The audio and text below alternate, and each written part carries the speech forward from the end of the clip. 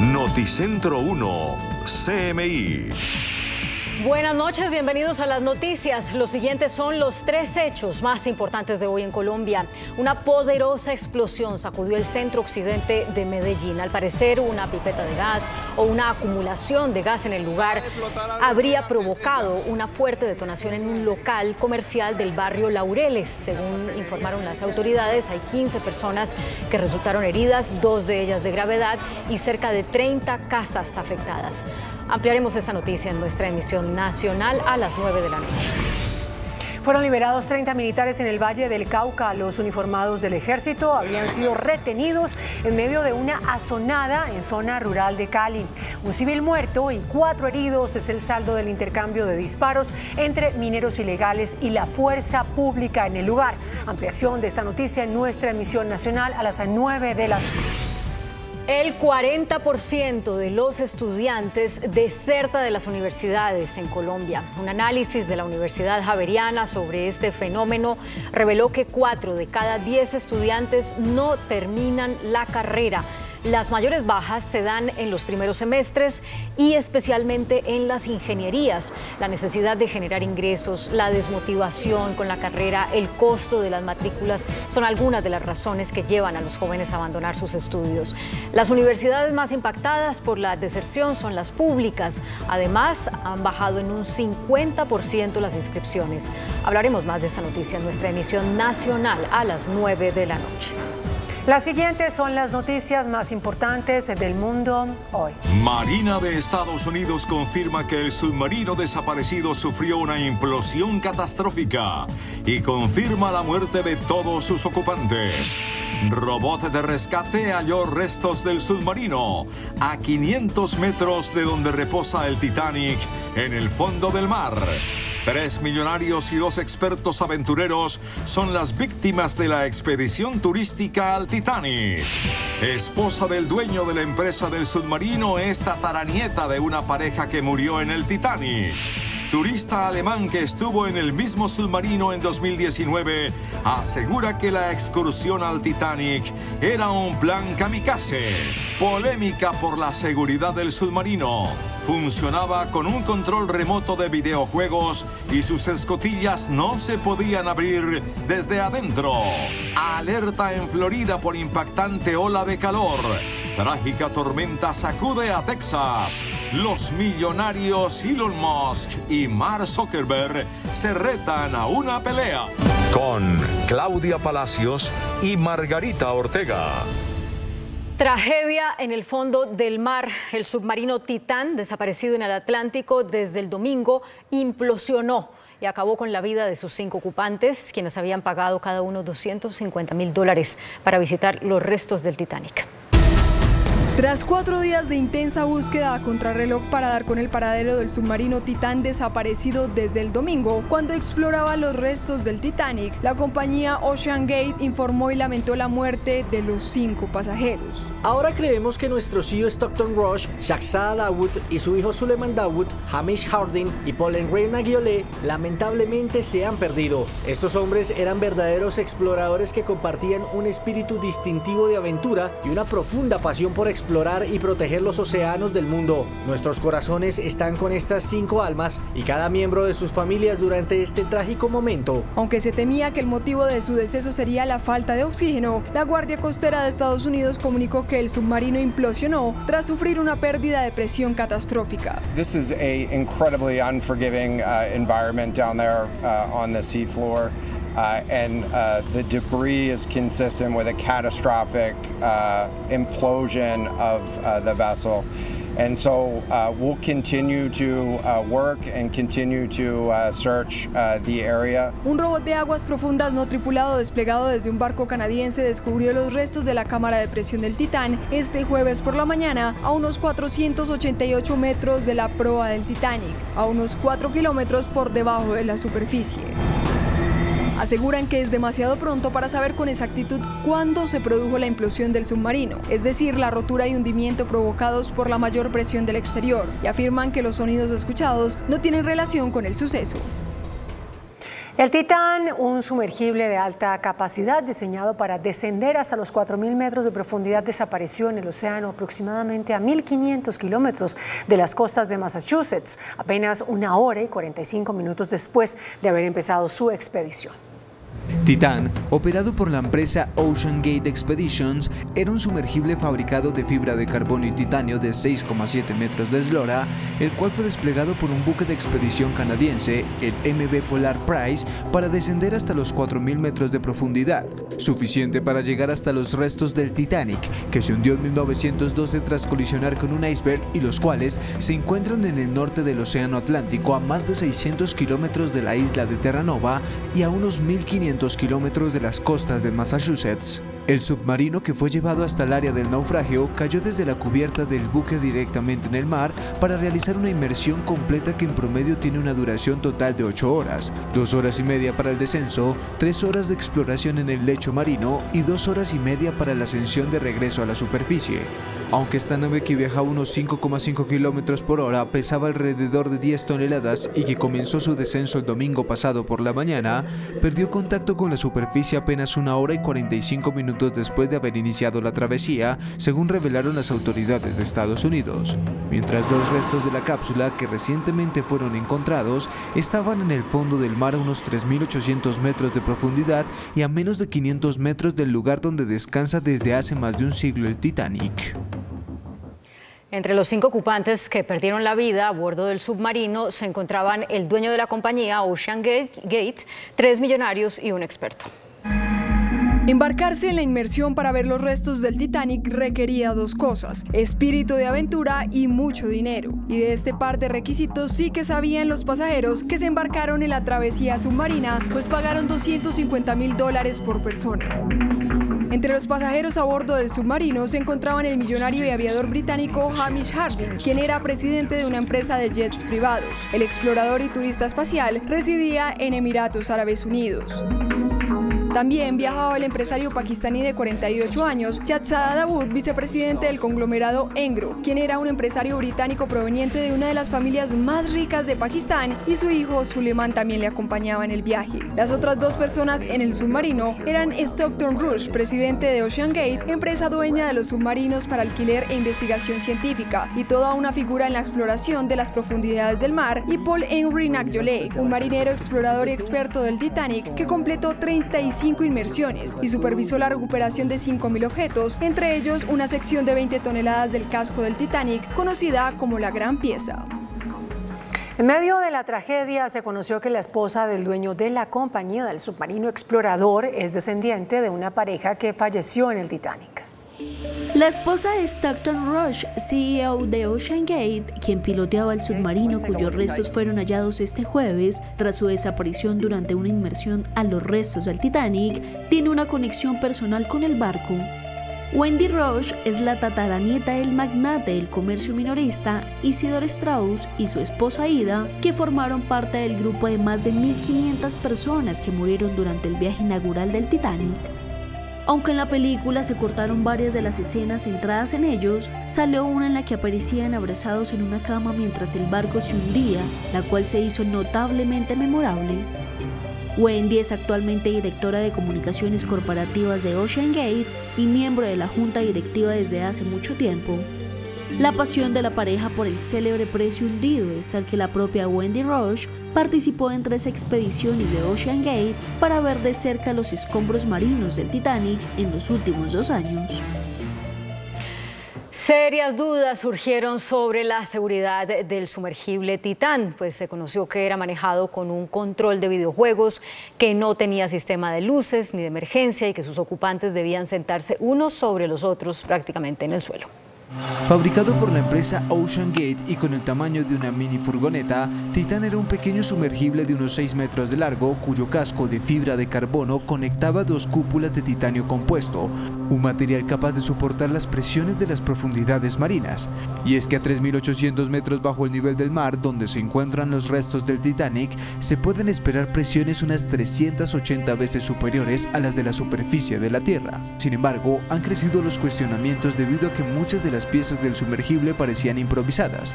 Sin ir más lejos, la nave era controlada por un mando de videojuego con un solo botón, cuyo diseño se asemejaba a uno de los característicos controles del PlayStation.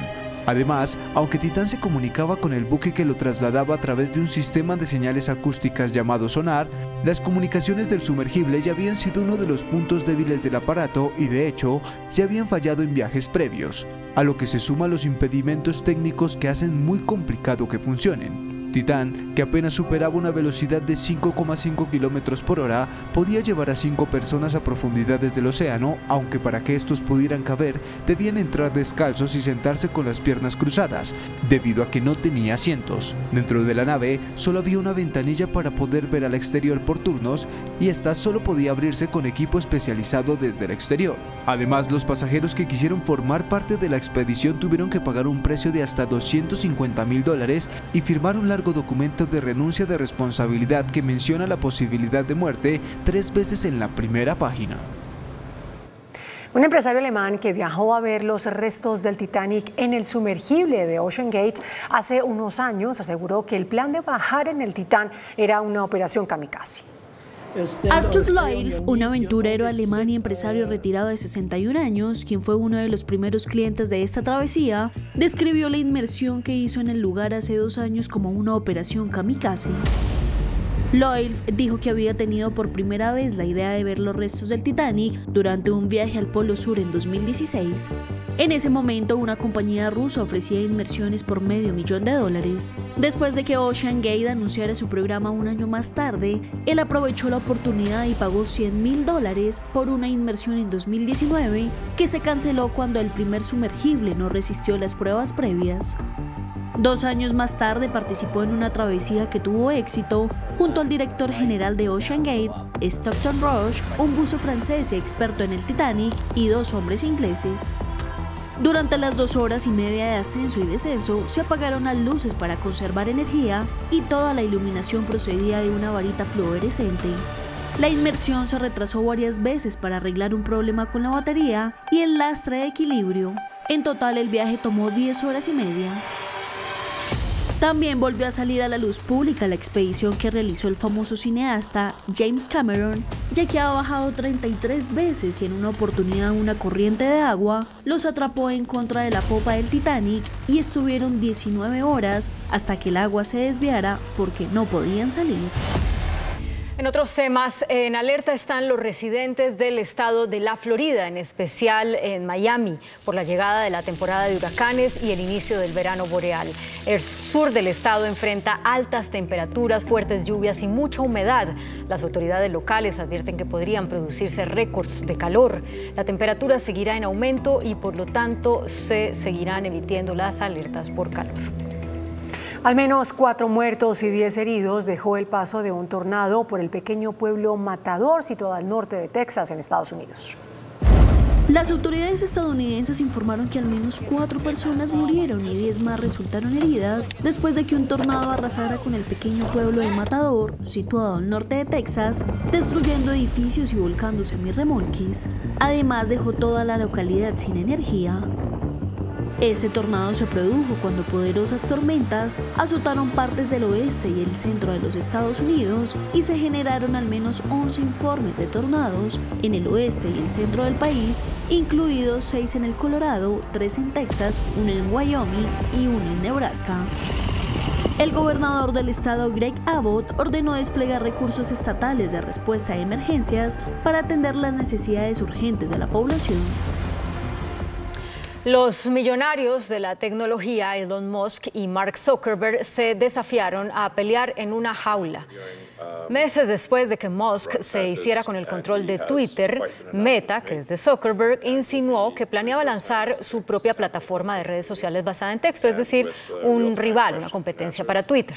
Musk escribió en su cuenta de Twitter, me apunto a un combate en jaula si él también, refiriéndose a Zuckerberg. Zuckerberg respondió en su Instagram Stories con una captura de pantalla del mensaje y una respuesta, envíame la ubicación. Un ecologista puso a prueba un submarino que aspira microplásticos en los océanos de Estados Unidos. El ecologista y emprendedor Druth Borua desarrolló una embarcación submarina para limpiar las vías fluviales de los océanos llenos de microplásticos.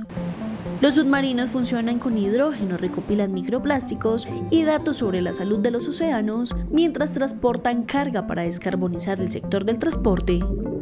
Estos submarinos son superiores a un buque de carga en casi todos los sentidos. No solo son independientes del clima, pueden llegar a áreas de difícil acceso y son mucho más baratos de construir y operar, sino que también son más silenciosos, seguros, estables y limpios, con cero humos o contaminantes.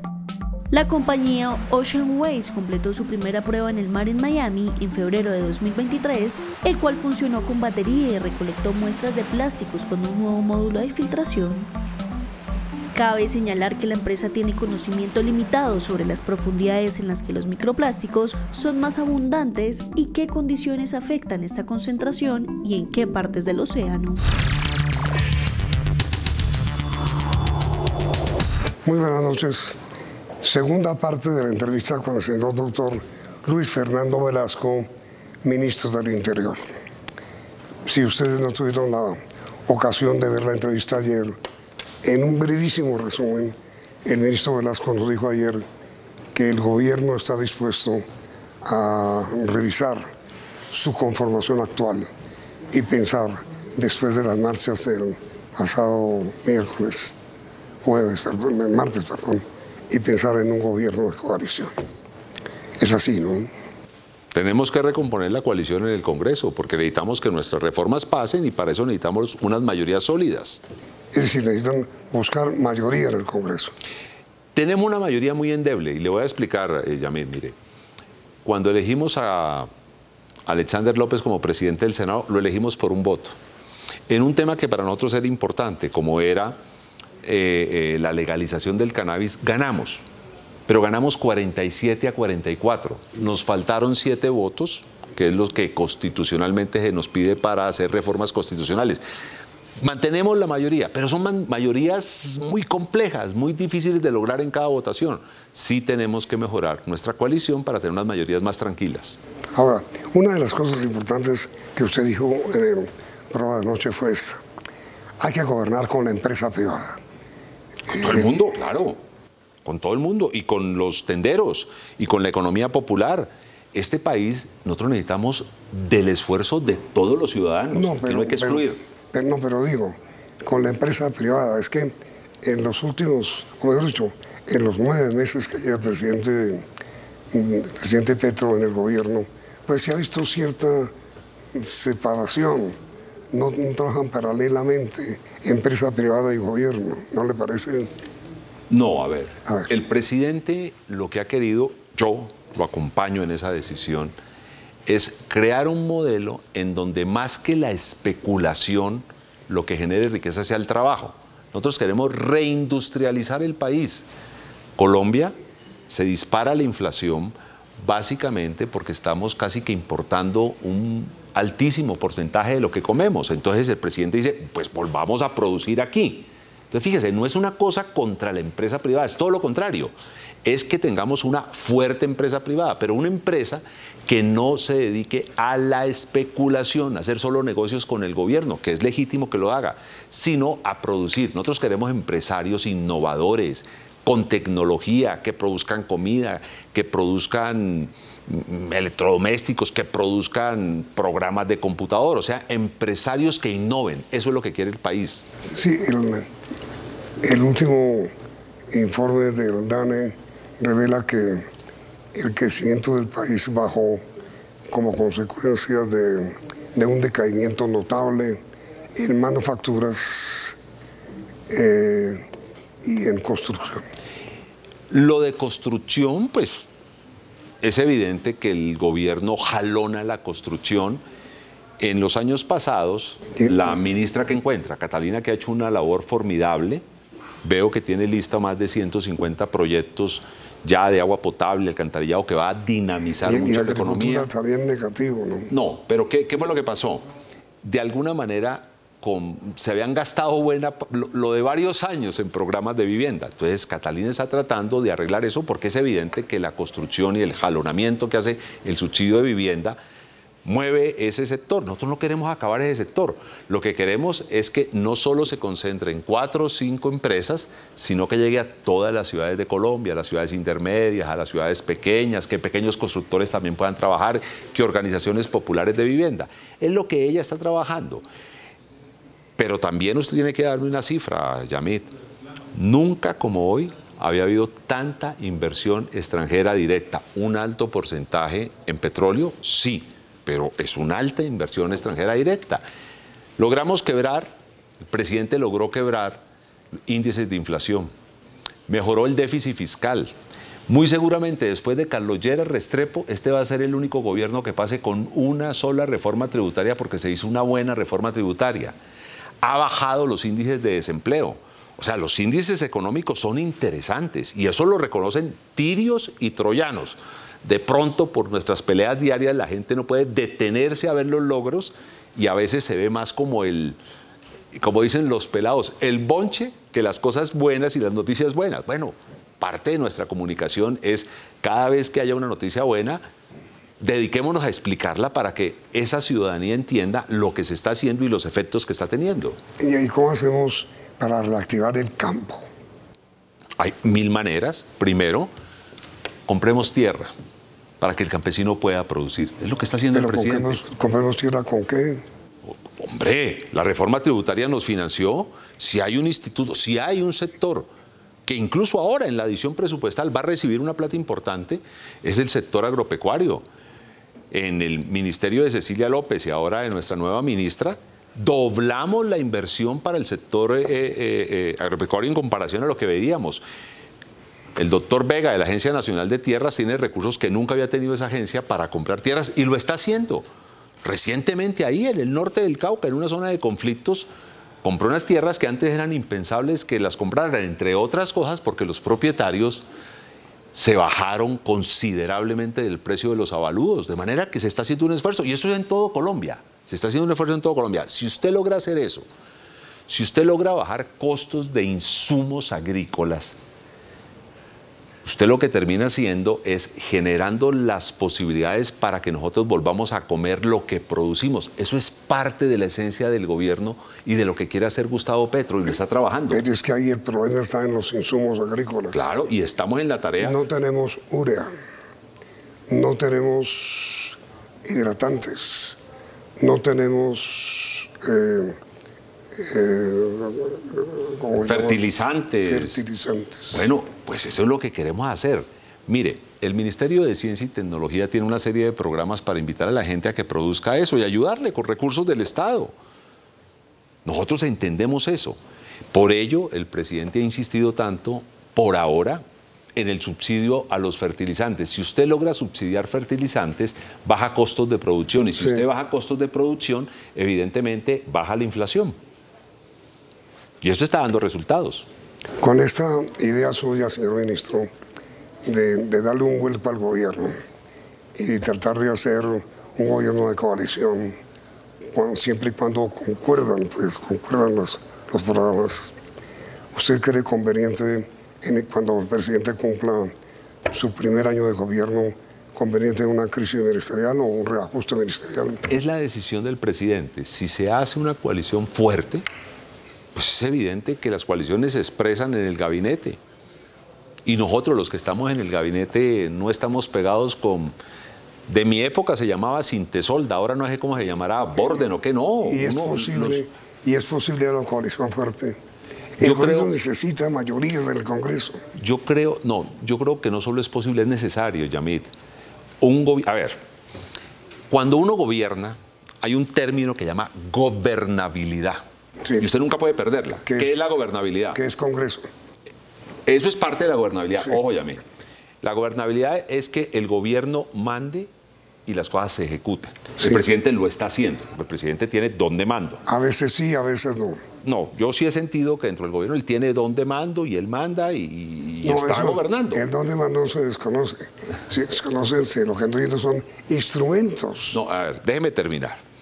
El Congreso si usted quiere, le hago un enunciamiento de las leyes que se han eh, eh, eh, aprobado. y son un mundo. Las conocemos. Y son un mundo. O sea, el Congreso está legislando y el sector productivo está produciendo, el pequeño, el mediano, el grande. O sea, en Colombia hoy hay gobernabilidad.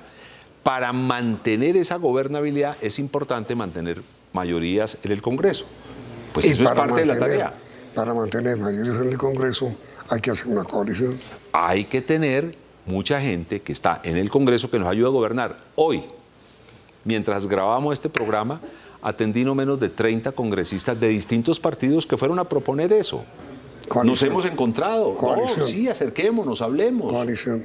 Hablemos, y, pero, pero una coalición, mí, una coalición cierta no simplemente una coalición para repartirse unos puestos, sino una coalición para gobernar y para sacar unos programas. Una coalición de programas. Exacto. Aceptando, aceptando programas de uno u otro partido. Aceptando las mejoras frente a nuestros programas, lo que le propusimos al, país. En la reforma de la salud, aceptando también las objeciones. Pues es que se han aceptado un altísimo porcentaje. Y a mí, cuando inició la reforma de la salud, el proyecto original de la ministra Corcho, las EPS desaparecían. Hoy las EPS se mantienen. Claro, se mantienen las que tengan salud fiscal. Nosotros no llegamos a acabar las EPS. Hasta hace poco habían 140 EPS en Colombia, hoy no hay más de 20. Sí, pero ahí sigue. Las acabó su propia inoperancia. Pero ahí sigue congelada. No, no, no, no sigue congelada. La reforma a la salud fue aprobada, es una reforma densa, fue aprobada en la Comisión Séptima de la Cámara y ya está en la plenaria. Congelada esperando a que el 20 de julio eh, la, votemos en, Pero no parece, señor ministro, o parece que si no hay una gran coalición que saca adelante la reforma de la salud y la reforma laboral y las demás reformas, eso no va a ser. Pues es el reto nuestro, hacer esa gran coalición. Y, lo van a hacer. Pues es que eh, por lo menos vamos a aplicarnos a hacerlo.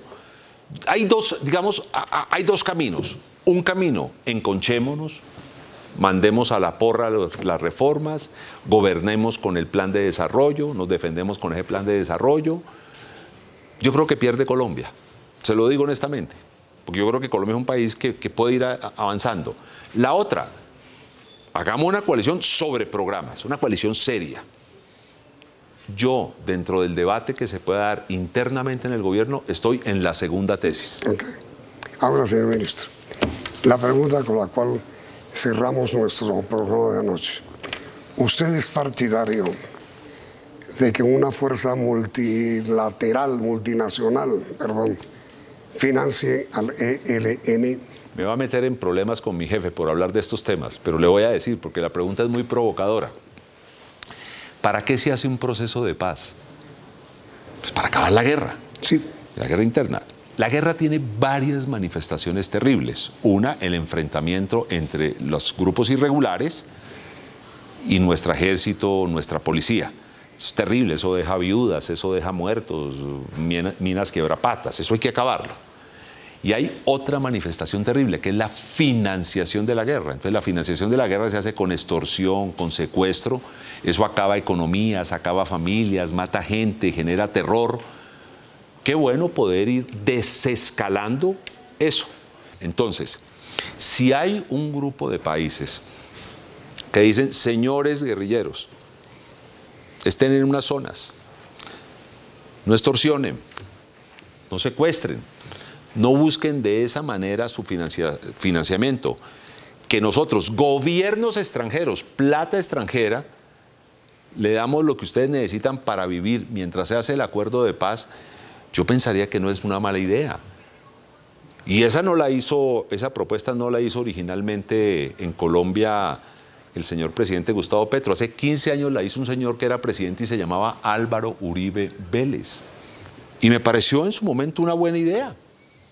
¿Cómo hizo el doctor Uribe eso? Él propuso hace 15 años eso, con una gran diferencia, que él proponía que el financiamiento a esos grupos guerrilleros, que no secuestraran, que no extorsionaran, se hacía con plata de los contribuyentes colombianos. Lo que está diciendo, o por lo menos lo que se ha rumorado, en honor a la verdad, yo tengo que sentarme despacio con el presidente, aquí es que me va a jalar las orejas, para decirme usted por qué se puso a hablar de eso, pero, pero lo que yo entiendo es que algunos países en el mundo han hablado de la posibilidad de crear un fondo para que en la medida que los guerrilleros no secuestren, no extorsionen, no cometan de delitos, sí, se vayan, o sea, se vayan... Vuelvan a la vida... Pues se les va financiando hasta que se firme el acuerdo de paz. Siendo práctico no es una mala idea. que, el ELN fuera financiado. Pero no para delinquir, sino para dejar de delinquir. especialmente, pues de eso, se trata. Claro, pues de eso se trata. Pues, hombre, si nosotros podemos dejar que el ELN, que las insurgencias, que las disidencias de, la FARC y todo eso dejen de delinquir, pues eso es lo que queremos. Eso lo quiere la izquierda, lo quiere la derecha, lo quiere todo el mundo. Ahora, ¿cómo lo logramos? Hay gente que cree que la única manera de acabar la guerra es a punte bala. Llevamos cuántos años, toda, desde, los inicios de la República y no hemos parado. Hombre, hay que buscar otros caminos. Ahora miren, doctor Velasco, vienen las elecciones de octubre, eh, que va a ser una especie de de referendo al gobierno del presidente Petro. O así lo están no, lo quieren presentar. Políticos bastante... No creo. No, déjeme decir algo, déjeme decir algo. Mire, hay unos dirigentes que se quedaron sin ideas. Y como se quedaron sin ideas y sin propuestas, y como gobernaron los últimos 20, 30 años, pues no pueden salir a decirle al país, vamos a arreglar los problemas, porque el país le va a decir, señores, ustedes estuvieron 30 años gobernando, ¿por qué no arreglaron los problemas? Pero miren. Entonces ellos quieren convertir las elecciones regionales en un referéndum contra Petro y no les va a funcionar, ¿sabe por qué? Porque en muchas regiones del país usted va a ver un frente amplio, el pacto, los partidos que le ayudaron a Petro, muy seguramente al lado de otros partidos con candidatos a gobernaciones y alcaldías. ¿Por qué, Yamit? Porque la democracia local es muy distinta. En la democracia local son otras luchas, son otros debates. En la democracia local no se está debatiendo si se hace o no se hace el proceso de paz. En la democracia local se está debatiendo si se lleva o no se lleva el agua a un barrio, si se mejora o no la seguridad urbana. Es otra eh, cosa. No, pero mire, pero mire, doctor Velasco. El problema es este.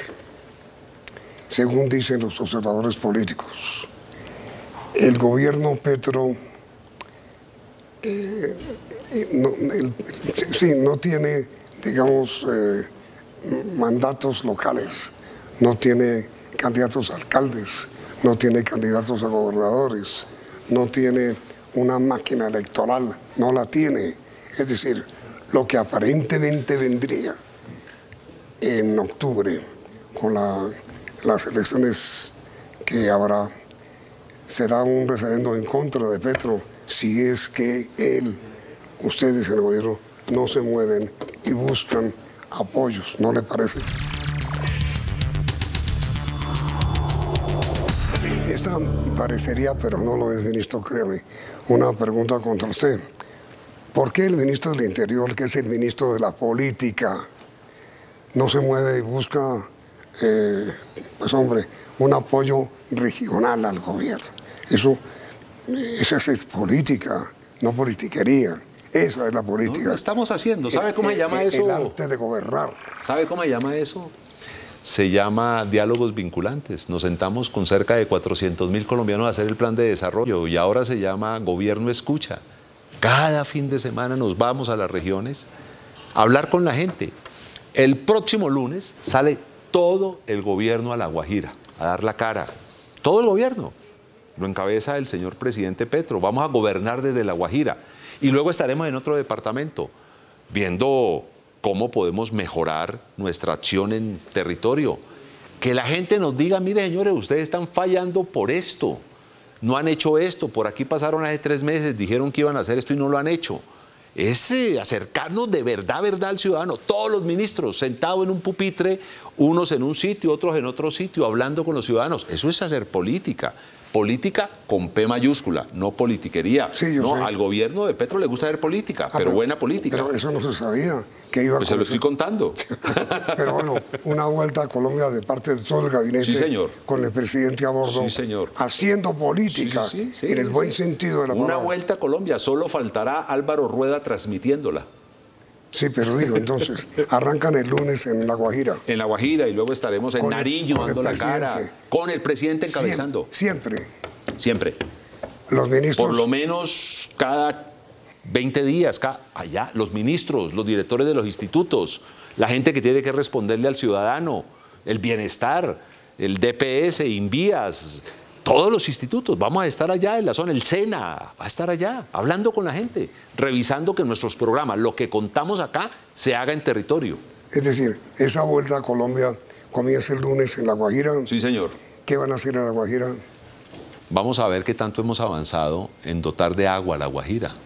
Vamos a ver qué tanto hemos avanzado en dotar de salud, en mejorar las condiciones de los niños, las condiciones nutricionales. Poco, ¿no? Yo creo que hay cosas positivas, pero hay cosas negativas. Muchas. Mire, Yamit. Muchas necesidades. Mire, mire, mire, Yamit. ¿Cómo poder desarrollar la Guajira? ¿Cómo poder destrabar esos proyectos de parques eólicos que tanto necesita la Guajira y Colombia? ¿Cómo poder ayudar en proyectos turísticos? Le voy a soltar una chiva. El presidente se le ha metido en la cabeza algo que me parece espectacular. Lo hizo, lo hizo en su momento en una isla del Caribe algunos inversionistas y el resultado fue espectacular cuando hicieron la pista en Punta Cana. Si nosotros hacemos una buena pista de aterrizaje en la Alta Guajira, esas dunas, esas playas, esos lugares tan hermosos se puede convertir en un sitio de turismo extranjero impresionante. Esa zona, la gente no tiene claro esto. Cuando uno está en Taroa, en La Guajira, está a menos de 150 millas de Aruba. El europeo y el americano que llega a Aruba al segundo día ya no tiene mayor cosas que hacer.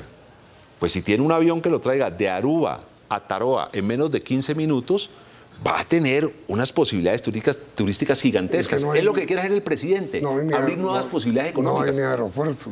Es lo que quiere hacer el aeropuerto. Es lo que quiere hacer. Y vamos a ver, porque ya el director de la aeronáutica nos tiene como dos sitios señalados donde pudiese hacerse un aeropuerto. Y un aeropuerto sencillo, una pista. Así arrancó Punta Cana. Mire los resultados. Colombia tiene unas posibilidades. A Petro se le ha metido. Esta vuelta a Colombia comienza el lunes. Comienza el lunes. Primero la Guajira.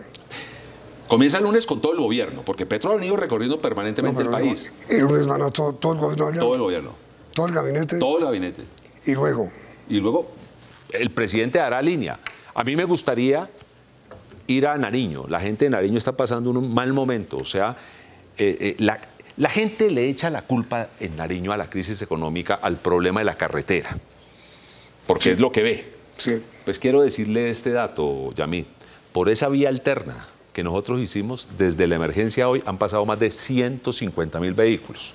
O sea, los vehículos están pasando. ¿Realmente qué es lo que pasó allá? Un modelo económico que acabó la agricultura. Al acabar la agricultura, se acabó el trigo en Nariño, comenzamos a traer leche de afuera, entonces no le compramos la leche a los nariñenses. O sea, fue, un fue el modelo económico el que los fue empobreciendo a los, a, los, a los hombres y mujeres del sur de Colombia. Y entonces comenzó a crecer los cultivos ilícitos. Y al lado de los cultivos ilícitos se generó unos problemas de violencia complejos. Ahora algún fenómeno está pasando, no se están comprando con la dimensión que se compraban antes los cultivos ilícitos y hay mucha pobreza en la zona. Pero es un problema del modelo económico, es un problema estructural. A mí me gustaría que el presidente fuese allá con todo su gabinete. Yo quiero llevarlo para que le demos la cara a los nariñenses y le digamos, mire, esto está pasando. Ustedes dijeron que iban a hacer A, B, C, han hecho A, B, pero falta C. Tenemos un plan que se llama Plan Sur.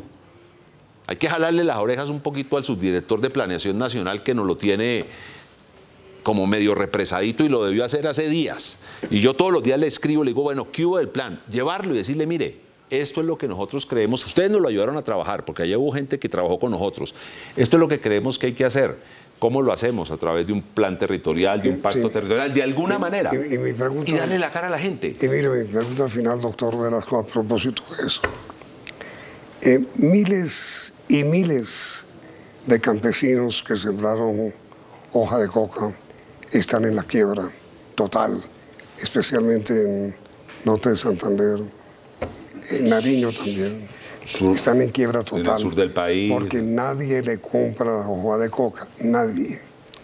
Eh, usted es partidario de que el gobierno compre la hoja de coca. Es una opción. Otra opción es hagamos ya sustitución. A mí me llama un buen amigo. que la compra desde santo? Pues, un segundo, mí se puede, pero, pero mire esto, a mí me llama un buen amigo, entiendo que de la federación se lo trajeron a trabajar a nivel nacional allá del Cauca y me mandó una cantidad de fotografías la gente vendiendo sus fincas llenas de coca, porque se están quebrando. Esa es una tierra espectacular para el café. Nosotros hace años producíamos 16 millones de sacos de café, 15, 16 millones. No, no, no, en Colombia, para ah, exportar. Ah, Creo que este año no vamos a llegar a 11. Podemos producir muchísimo más café. Pero Cauca era un buen productor de café. La mejor zona productora de café hoy en Colombia, el nuevo eje cafetero es Nariño, Huila, que es el primero, y Cauca. Esa es la nueva zona cafetera. Bueno, sustituyamos coca con café volvámonos dinámicos. Esta es una buena posibilidad. En el momento de crisis de la coca es el momento de sustitución de la coca. Doctor Luis Fernando Velasco, ministro del Interior, bienvenido. bienvenido al futuro, como decía. Muy gracias por su... Me acuerdo de esa campaña, la acompañé. Muchas gracias por su presencia y mucha suerte con sus gestiones. Sí, gracias, Yamil. A usted. Y a ustedes, televidentes, gracias por la sintonía y los invito a que continúen aquí. Esto es Noticentro 1, CM. Con Claudia Palacios y Margarita Ortega. Iniciamos nuestra segunda hora de noticias. Las autoridades tratan de establecer si una acumulación de gases sería la causa de una explosión en el centro occidente de Medellín. El hecho deja 15 personas heridas y varias viviendas afectadas. Ahí en el lugar de los hechos está nuestro compañero Hernán Muñoz. Hernán, buenas noches. Adelante con la información. Claudia, buenas noches. Seguimos en el lugar de la explosión. A esta hora, 20 socorristas, tres máquinas de bomberos y tres ambulancias atienden la emergencia. Ya comenzaron a llegar los dueños del establecimiento comercial para intentar rescatar la poca mercancía que se salvó. Así registró la explosión esta cámara de seguridad. El video, conocido por Noticentro 1 CMI, muestra cómo tras la detonación inició rápidamente un incendio y luego un hombre y una mujer heridos salen corriendo y piden ayuda en medio de los escombros.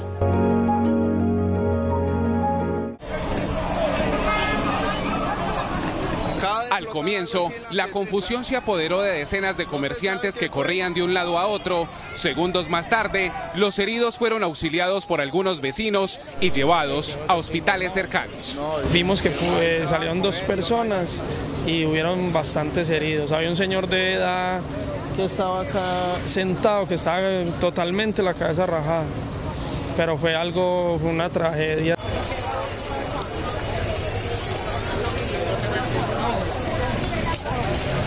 Según las autoridades, 15 personas resultaron heridas, dos de gravedad y cerca de 30 casas resultaron afectadas. Preliminarmente tenemos un edificio de cuatro pisos, un hotel, el cual presenta la explosión y presuntamente se da por una acumulación de gases en el lugar. La Oficina de Gestión del Riesgo confirmó que fue suspendido de manera temporal el suministro de servicios públicos mil metros a la redonda. Dicen las autoridades que el tipo de gas que generó esta explosión está por establecerse y este punto permanecerá cerrado durante la noche. Información desde la capital de Antioquia, Hernán Muñoz, Noticentro 1, CMI. Hernán, muchísimas gracias. Y quedaron en libertad 30 militares en el Valle del Cauca. Los uniformados del ejército estaban retenidos tras una asonada en zona rural de Cali. Un civil muerto y cuatro heridos es el saldo del intercambio de disparos entre mineros ilegales y la fuerza pública. En la mañana de este jueves se presentó una asonada en zona rural de la ciudad de Cali en el departamento de Valle del Cauca. Militares que tenían como misión la desarticulación de maquinaria usada para minería ilegal fueron atacados por mineros. De acuerdo con lo reportado, las tropas realizarían la incautación de seis mulares que llevaban elementos para la extracción ilícita de yacimientos mineros. Estos eran conducidos por cuatro personas. Según el ejército, la tropa fue recibida a disparos.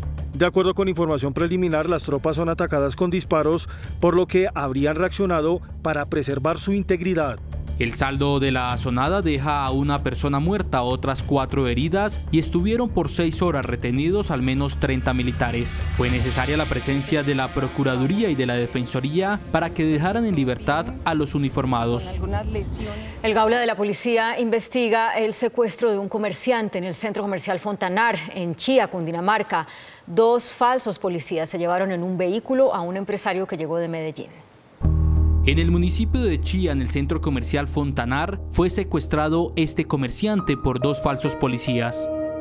En las imágenes quedó grabado el momento exacto en el que los dos falsos uniformados se llevan a la víctima. Desde ayer, cuando se presentó el hecho, se activó un plan candado. Aún no se ha dado con el paradero de los secuestradores. El desarrollo de esta investigación nos permitirá esclarecer si estaríamos frente a una supuesta suplantación de autoridad. El empresario había viajado de Medellín hacia Bogotá para celebrar el Día del Padre con su esposa. Un juez envió a la cárcel al ex subdirector de la Unidad Nacional de Protección, Ronald Rodríguez, por hacer parte de una banda de narcotráfico que usaba camionetas de esa entidad para transportar cocaína y marihuana. La Fiscalía reveló varias conversaciones telefónicas y chats entre el ex subdirector de la Unidad de Protección Ronald Rodríguez y el narcochofer Manuel Castañeda, en las que queda en evidencia que las camionetas que tenían que ser empleadas para proteger a personas amenazadas terminaron siendo utilizadas para mover alijos de droga. A través de las conversaciones de WhatsApp, en donde se habla de más de 212 kilos la incautación que se realizó el 10 de eh, diciembre, que fueron 168 kilos. La fiscalía indicó que en las conversaciones Rodríguez y Castañeda hablaban en clave sobre la droga, llamándola como instrumentos musicales o flores. La persona que le aportaba los vehículos para el transporte de sustancias estupefacientes y tenía el pleno conocimiento y la disponibilidad la juez consideró que Rodríguez era un peligro para la investigación, por lo que decidió enviarlo a la cárcel. El ministro del Interior, Luis Fernando Velasco, anunció la puesta en marcha de la estrategia Gobierno con el Pueblo. Una vez al mes, el presidente visitará con todo su gabinete y durante una semana diferentes regiones del país. El programa arrancará en La Guajira. Esta es la puesta en marcha de una estrategia que se llama Gobierno con el Pueblo. Una vez al mes y durante siete días en diferentes regiones del país, el gabinete ministerial en cabeza del presidente Gustavo Petro gobernará. El próximo lunes sale todo el gobierno a La Guajira a dar la cara. Todo el gobierno. Lo encabeza el señor presidente Petro. Vamos a gobernar desde La Guajira. Y luego estaremos en otro departamento viendo cómo podemos mejorar nuestra acción en territorio. ¿Cuáles son las prioridades en estas jornadas del gobierno en los territorios? Que la gente nos diga, mire señores, ustedes están fallando por esto, no han hecho esto, por aquí pasaron hace tres meses, dijeron que iban a hacer esto y no lo han hecho es eh, acercarnos de verdad, verdad al ciudadano. Noticentro 1 CMI además habló con el ministro TIC Mauricio Liscano, quien entregó otros detalles de la visita a La Guajira del gobierno Petro. Temas en La Guajira. El gran problema que tiene La Guajira hoy es el agua potable y ahí es donde hay un gran despliegue. El segundo tiene que ver con la energía. El presidente, todo el tema de los proyectos eólicos de energía de viento y de sol que hay que concertar con la comunidad y que han estado, digamos, con muchas dificultades, es decir, transición energética y tres temas ya más sociales, niños, obras, vías, colegios y ya todo el gabinete de salud. Posiblemente se quiera empezar la reforma a la salud. Todos estos temas de los CAPS se puede empezar por La Guajira. Visitarán diferentes zonas en La Guajira como Hacha, Manaure, Nazaret, entre otros municipios. El ministro Velasco reveló uno de los planes del gobierno en esta región, una idea del presidente según Velasco. Si nosotros hacemos una buena pista de aterrizaje en la Alta Guajira, esas dunas, esas playas, esos lugares tan hermosos se puede convertir en un sitio de turismo extranjero impresionante. Ya el director de la aeronáutica nos tiene como dos sitios señalados donde pudiese hacerse un aeropuerto. Y un aeropuerto sencillo, una pista. Después de la Guajira, el destino será Arauca, según lo que ha dicho el presidente Petro. La libertad religiosa está gravemente restringida en 61 países del mundo. Así lo revela el informe mundial dado a conocer hoy por la Fundación Ayuda a la Iglesia que Sufre. En el acto habló Sor Gloria Narváez, quien estuvo en poder de Al Qaeda. Según el informe, más de 4.900 millones de personas viven en países donde se ha vulnerado la libertad religiosa. Son 61 en el que los ciudadanos han enfrentado graves violaciones en ese sentido. La gente no puede practicar su fe como quisiera, entonces no puede acceder a, cargos públicos, no pueden ir a colegios los niños que son de alguna religión específica, eh, las personas no pueden tener un derecho al trabajo como quisieran y pues hay unos muchísimo más graves que ya son delitos de odio gravísimos, que es ya el asesinato de personas por temas religiosos, la destrucción de los templos. En el evento participó la hermana y misionera Gloria Narváez, quien estuvo secuestrada en Mali durante cuatro años y ocho meses. En primer lugar fueron los yihadistas de Al-Qaeda, pero después, eh, precisamente yo no me recuerdo bien el grupo de la defensa del Islam, este fue el grupo que me tuvo y pues ellos querían la conversión, ¿no? Querían, en sí ellos comenzaron por retirar las muchas iglesias del norte de Mali y pues continuaron con el sur. Según el estudio, en 47 de los países categorizados, la situación de libertad religiosa empeoró. El 40% de los jóvenes abandonan las aulas universitarias, según un informe revelado hoy por la Universidad Javeriana. Cuatro de cada diez estudiantes desertan de las universidades en Colombia. Las mayores bajas se dan en los primeros semestres. La deserción está sobre todo concentrada en estratos socioeconómicos más bajos, en hombres. La necesidad de generar ingresos, la desmotivación con la carrera y el costo de las matrículas son algunas de las razones que llevan a los jóvenes a abandonar las aulas. Es una preocupación para todo el país, las personas que están egresando del sistema. La apuesta de financiamiento para educación superior debe permitir entonces que las instituciones puedan fortalecer sus programas de bienestar. Las universidades más golpeadas por la deserción son las públicas. En la distrital, por ejemplo, de 29 mil jóvenes, 12 mil no terminan. Atendemos eh, poblaciones de estrato 1, 2 y 3 y la situación económica del país y de las familias obliga a que muchos muchachos tomen la decisión de dejar sus estudios por apoyar económicamente a sus familias. Aunque en la pedagógica la tasa de deserción es menor, preocupa la caída en las inscripciones más o menos el 50% en los últimos 7, 8 años ha venido bajando, bajando. Cada vez tenemos menos inscritos. Solo el 38% de los bachilleres ingresan a la universidad inmediatamente después de graduarse. Más de 3.900 quejas contra la CPS se reciben diariamente por parte de usuarios que buscan obtener mejores servicios de salud. Así lo reveló el superintendente de salud, Ulay Beltrán.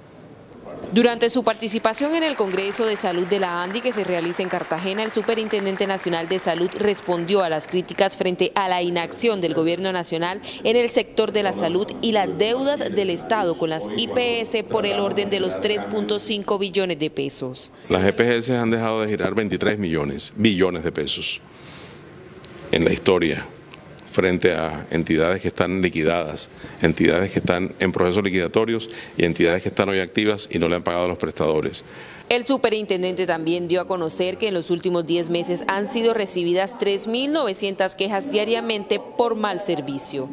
El 32% que corresponden a súplicas de vida, es decir, para evitar que la persona fallezca o el familiar de quien está acudiendo a nosotros. Finalmente advirtió que la entidad no tiene intocables y que se darán las sanciones que sean necesarias a los actores del sector que incumplan las normas.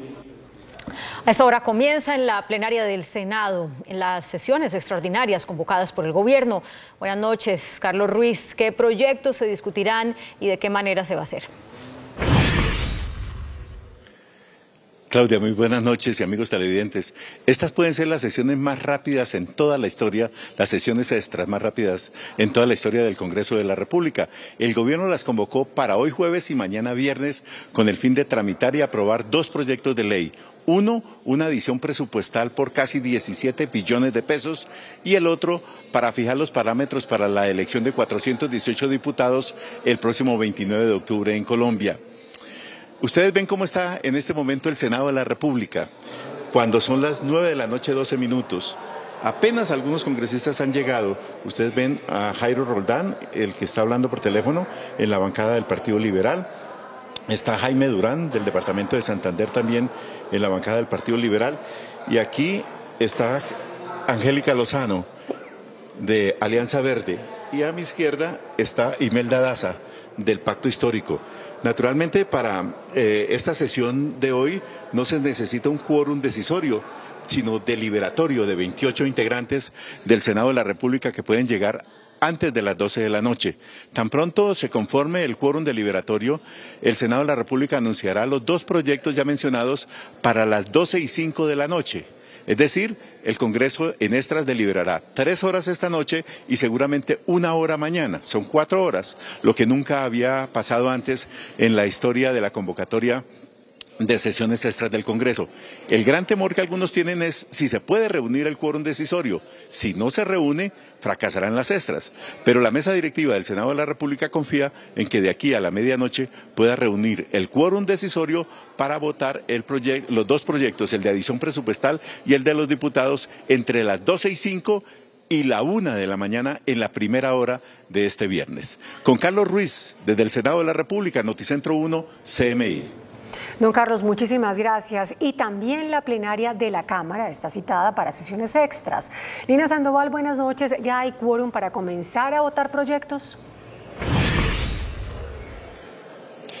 Muy buenas noches, Margarita y televidentes. Mire, le voy a mostrar a usted y a todos los televidentes a esta hora cómo está el salón elíptico, porque el presidente de la Cámara ya se encuentra aquí, el secretario acaba de abrir registro, pero aún no hay quórum para dar inicio a estas sesiones extras en la Cámara de Representantes. Poco a poco empiezan a llegar los representantes para cumplir con esta cita de las sesiones extra, que en la Cámara funcionarán igual que en el Senado. Tienen dos proyectos, la adición presupuestal y también el proyecto que busca definir la fórmula para el número de diputados que serán elegidos en las elecciones regionales. Les voy a dar un par de datos sobre la adición presupuestal. ¿Cuáles son los mayores rubros que tienen la mayor designación en, este, en esta adición presupuestal? Están en el sector educación, a la que se le buscan añadir 2.2 billones de pesos, seguido del sector salud y protección social con más de 2 billones de pesos y le sigue el sector Hacienda con 1.8 billones de pesos. Cabe recordar que si se aprueba la adición presupuestal, el presupuesto quedaría con un monto de 422.5 billones de pesos. Aquí en la Cámara de Representantes, al igual que en el Senado, estos dos proyectos se van a anunciar en esta noche y serán votados después de la medianoche. Nosotros, por supuesto, estaremos atentos para llevarles a ustedes los detalles y el desarrollo de estas sesiones extra en el Congreso de la República desde el Salón Elíptico donde sesiona la Cámara de Representantes. Lina María Sandoval, Noticentro 1 CMI. El sumergible Titán, eh, sobre el que existía una alerta de fallas de diseño y que se encontraba desaparecido, implosionó hoy en el Atlántico, acabando con la vida de los cinco pasajeros que pagaron cada uno 250 mil dólares para visitar los restos del naufragio del Titanic. La inmersión completa hasta el naufragio, que incluía el descenso y el ascenso, duraba 8 horas en total. Costaba 250 mil dólares por cabeza y ya se había completado en varias ocasiones con el sumergible propiedad de Ocean Gate. La nave se controlaba con un Logitech F710 del año 2010, un control inalámbrico para computador valorado en tan solo 30 dólares.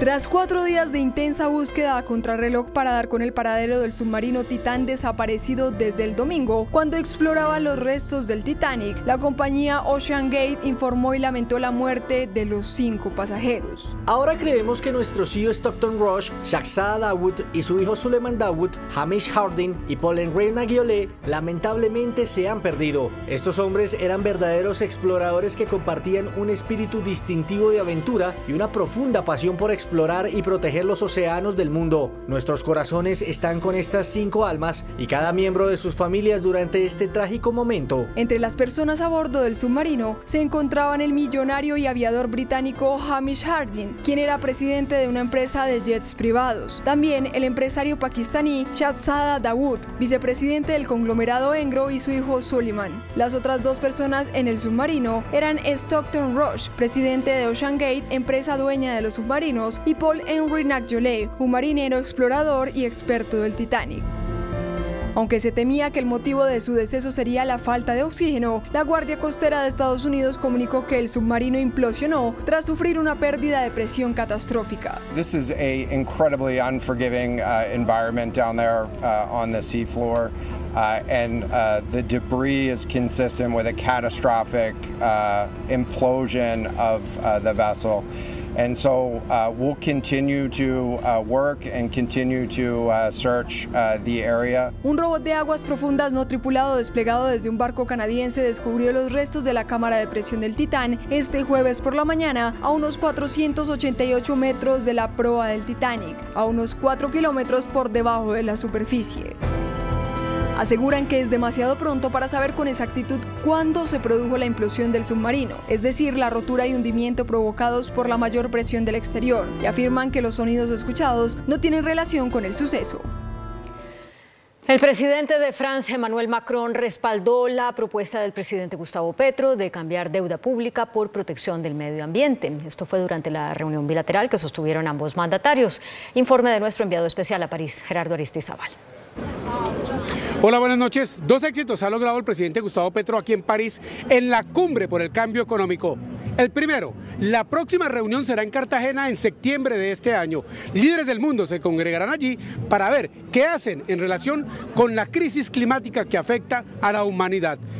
Y el segundo éxito tiene que ver con el respaldo del presidente de Francia, Emmanuel Macron, quien ha dicho que está de acuerdo con llevar a la COP28 la propuesta del presidente Gustavo Petro de manera conjunta de cambiar deuda pública por protección del medio ambiente. Y mucha atención que el presidente Gustavo Petro en la cumbre realizada en la ciudad francesa ha reiterado por qué es necesario que haya cambio de deuda pública por preservación, por ejemplo, de la selva amazónica. ¿Cuánto vale?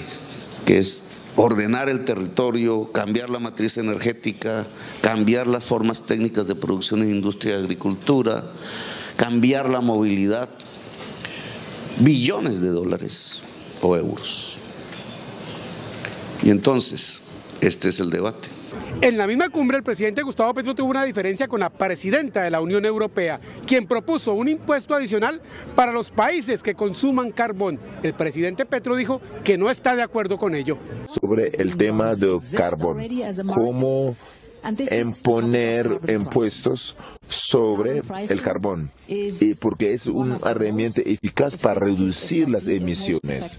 y cómo hacemos de tal manera que las industrias, el sector de movilidad, los que contaminan tengan una opción, es decir, siguen así y pagan más, digamos, más impuestos. Quisiera abrir un debate con la presidenta de la Unión Europea muy amable, que profundizaremos seguramente en la cumbre CELAC, América Latina y Unión Europea, ahora en julio, que tiene que ver con cambiar la matriz energética en el mundo, sustituyendo combustibles fósiles, no complementando combustibles fósiles, que hasta ahora es lo que los números dan sin eso no hay solución. La cumbre mundial por un nuevo enfoque económico que tuvo la participación del Fondo Monetario Internacional, el Banco Interamericano de Desarrollo, las Naciones Unidas y una veintena de presidentes de todo el planeta continuará mañana en París. Allí, el presidente Petro tendrá intervención en dos mesas temáticas. Desde París, Francia, Gerardo Aristizábal, Noticentro 1, CMI. El fiscal general adjunto de los Estados Unidos, Kenneth Polite, se reunió con el ministro de Justicia, Néstor Osuna, para hacerle seguimiento a la cooperación judicial entre ambos países. Según el ministro, dialogaron sobre la lucha contra la criminalidad y sobre el mantenimiento del Estado de Derecho. El, el fiscal estadounidense también se reunió con el fiscal Francisco Barbosa, con quien conversó sobre la lucha contra el narcotráfico y las finanzas criminales. El registrador nacional Alexander Vega pidió al gobierno mayores garantías para realizar las elecciones en diferentes regiones del país donde existen amenazas por parte de grupos armados. El registrador nacional Alexander Vega viene alertando sobre el riesgo electoral en ocho departamentos por la presencia de grupos armados ilegales, los cuales estarían generando constreñimiento y en algunos de los casos, como en el departamento del Chocó, hay denuncias de precandidatos quienes afirman ser víctimas de extorsiones por parte de estos grupos para poder hacer campañas electorales. El señor ministro de Defensa debe garantizar el orden público en los ocho departamentos que tienen problemas de esta situación, incluido el Chocó. Los departamentos que presentan riesgo electoral por orden público son Santander, Norte de Santander, Chocó, Antioquia, Cauca, Meta, Guaviare y Caquetá. La Corte Constitucional amparó los derechos de una mujer en embarazo quien fue despedida pese a haber avisado de su estado de gestación vía WhatsApp. La Corte protegió a una mujer de 26 años que fue despedida de una empresa textil pese a que había avisado que estaba embarazada a través de WhatsApp. Ordenaron su vinculación, una indemnización y que se le otorgue la licencia de maternidad. El fallo es novedoso desde el punto de vista probatorio, pues la empresa no había reconocido la formalidad del aviso que ella dio vía WhatsApp. Debido al auge tecnológico e informativo de programas de mensajería instantánea como WhatsApp, la Corte Constitucional, consciente de esta nueva realidad, incluyó dentro de sus análisis esta creciente modalidad de documentos. La defensa de la ex jefe de gabinete del presidente Petro, Laura Sarabia, le manifestó a la Fiscalía que en ningún momento ella ordenó hacer la prueba del polígrafo para intentar recuperar el dinero en efectivo que se perdió de su apartamento. Sarabia declaró durante cuatro horas ante un fiscal de la seccional de Bogotá en el edificio del antiguo DAS. En la diligencia, Sarabia acudió en calidad de víctima en el caso por el hurto de 7 mil dólares en efectivo de su residencia. Sin embargo, en la diligencia dijo que también se perdieron documentos personales y otros archivos relacionados con la Casa de Nariño. La pérdida de los documentos habría sido la principal causa para que la presidencia hiciera el procedimiento de polígrafo. Sin embargo, allegados a Sarabia aseguran que ella en ningún momento ordenó hacer tal prueba y agregan que ella no tenía el poder para solicitarlo. La ex jefe de gabinete del presidente Petro fue a la diligencia acompañada del abogado Jorge Gómez, quien advirtió que no hay ninguna investigación abierta contra Sarabia por el caso del polígrafo. El ex vicepresidente Germán Vargas Lleras dijo que la gente salió a marchar desesperada y señaló que nadie puede ser indiferente frente a lo que les molesta del gobierno. Las declaraciones del ex vicepresidente Germán Vargas Lleras se dieron en el marco de un almuerzo con empresarios y líderes gremiales en Santa Marta. Desesperada, espontánea, saliendo a manifestarse en contra de todas estas iniciativas, expresando sus preocupaciones el mensaje fue tan claro que este gobierno convocó extras y no se atrevió a meter ninguno de estos proyectos, ni laboral, ni de pensiones, ni de salud, porque sabe que en el clima que se está viviendo se les hundiría. Vargas Lleras arremetió contra la reforma laboral del gobierno Petro, que se hundió, pero que el gobierno planea radicar nuevamente el 20 de julio. No está pensada para darle solución a cuatro millones de desempleados.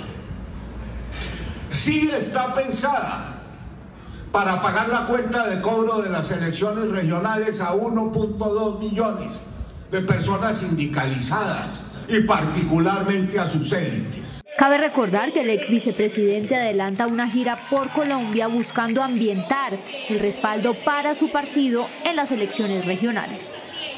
En un escrito de dos párrafos, la periodista Erika Fontalvo y el mismo periódico El Heraldo que dirige confirmaron que con el grupo Semana suscribieron un memorando de entendimiento para la venta del matutino.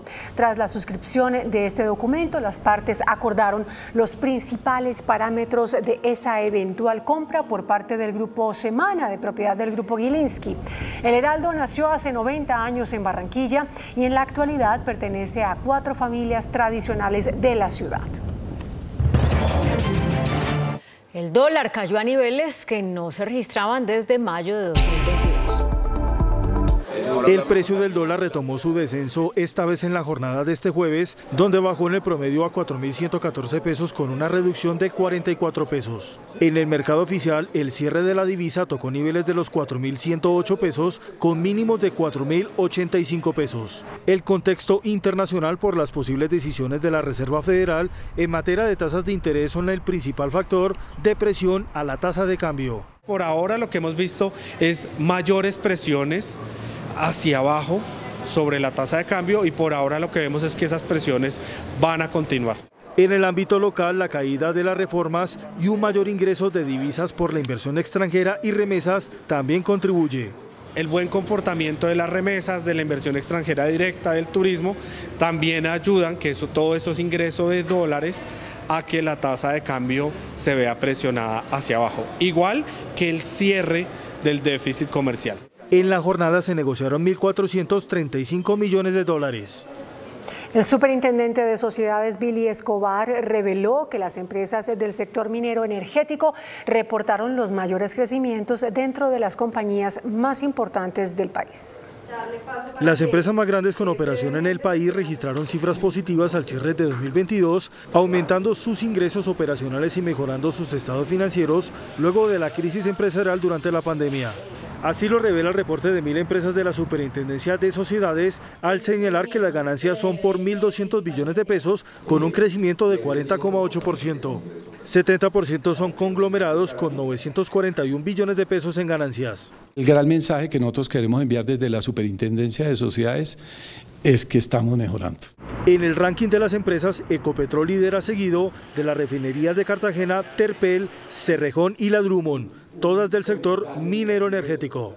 En el siguiente grupo están el grupo de éxito, la EPM, Nueva EPS, Claro Telecomunicaciones y las tiendas de Uno. Las empresas están mejorando, las empresas están creciendo, que hay sectores que tienen una dinámica bien importante como el de los hidrocarburos, que su rentabilidad ha sido exponencial. Se espera que las empresas mantengan la tendencia para 2023. Entre tanto, el director de la Asociación Colombiana de Ingenieros de Petróleo, Luis Guillermo Acosta, aseguró que el sector de hidrocarburos pasa por un mal momento. El argumento son las cifras del sector, las cuales se ubican en terreno negativo. La producción de petróleo se ubicó en abril en 774 mil barriles por día, lo que representa una disminución frente al mes anterior. Mes a mes está cayendo la cifra, en parte por temas de orden público. Las exportaciones también retrocedieron 26,2% y la actividad también desciende de 141 a 126 taladros y solo en perforación cae a 40 taladros. Se hace un llamado al gobierno para fortalecer la política de hidrocarburos. Necesitamos soluciones de fondo, no solamente que garanticen la producción actual, sino que pueda garantizar la exploración de nuevos campos petroleros y de gas para Colombia. Se espera una mejoría en el segundo semestre del año. El viceministro de Trabajo, Edwin Palma, reveló que el gobierno insistirá en la reforma laboral y confirmó que habrá una revisión del proyecto con los gremios y los trabajadores. El gobierno insistirá en la reforma laboral. Llegará en la próxima legislatura. El viceministro Edwin Palma confirmó que revisarán el texto del proyecto y harán nuevas mesas con los gremios. Estamos esperando coordinar precisamente nosotros los aspectos técnicos con la señora ministra a efectos de definir si en efecto se abrirán nuevas mesas. Siempre hemos estado dispuestos a sentarnos con la ANDI, con FENAL, con, con todos los gremios. Incluso analizan si vía decreto presidencial se pueden reglamentar algunos puntos de la reforma como la negociación colectiva. Será parte de los análisis que estamos haciendo con todo el equipo de gobierno. El funcionario firmó este jueves un acuerdo con las organizaciones sindicales donde se fija el aumento salarial para 1.300.000 servidores públicos. La Superintendencia de Sociedades reveló que Viva Air entrará en proceso de liquidación. De acuerdo con la entidad, la compañía aérea no logró superar las dificultades financieras. Tampoco se logró un acuerdo de pago con sus acreedores a la deuda, que está cercana al billón de pesos. El índice de capitalización de la bolsa que mide el comportamiento de las 25 principales acciones cerró a la baja. El índice selectivo MSCI Colcap de la Bolsa de Valores de Colombia bajó 0,88% a 1.141 puntos. La acción del Grupo Bolívar fue la que más subió, con una valorización de 3,90% a 72.940 pesos. La acción del Grupo Aval fue la que más bajó, con una pérdida de 5,08% a 467 pesos. La acción más negociada de la jornada fue la preferencia al Bancolombia al movilizar más de 10 mil millones de pesos con una variación negativa de 2,21% a 27.880 pesos. Y el dólar cerró a la baja. Indicadores económicos en Noticentro 1 CMI. La tasa representativa del mercado que regirá para mañana viernes será de 4.114 pesos con 39 centavos. Los profesionales del cambio compran la divisa en promedio en 4.000 pesos y la venden en 4.070 pesos. Un euro cuesta 4.553 pesos con 30 centavos. La libra de café en Nueva York se cotizó a un dólar con 71 centavos. El azúcar se transó en 25,2 centavos de dólar la libra. El barril de petróleo WTI se cotizó en 69 dólares con 53 centavos. La referencia Brent para Colombia se cotizó en 74 dólares con 23 centavos. Una acción de Copetrol cuesta 2.148 pesos. Hasta aquí Noticentro 1 CMI.